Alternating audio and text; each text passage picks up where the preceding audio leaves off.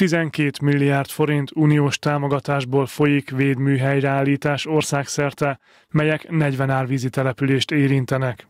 Ebből megyénkben három krasznamenti településen folyik helyreállítás 4400 méter hosszúságban és 12 méter mélyen.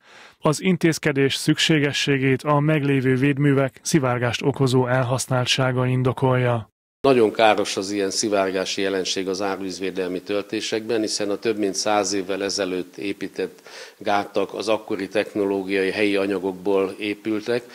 Ez azt jelenti, hogy kialakulhatnak olyan szivárgások és kritikus vízsebességek a talajban, amik talajszemcsék elsodor, elsodródását okozhatják, ezáltal a töltés tönkremehet, összeroskadhat. Ezeket a káros szivárgásokat meg kell akadályoznunk, hiszen ezeken a szakaszokon gyakran töltés megtámasztása, ideiglenes erősítése van szükség az árvíz megjelenésekor.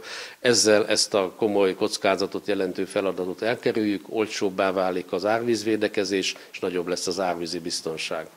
A vízügyi igazgatóság minden árvízkor figyeli, hogy hol lehet szivárgás, amit a későbbiekben orvosolni kell.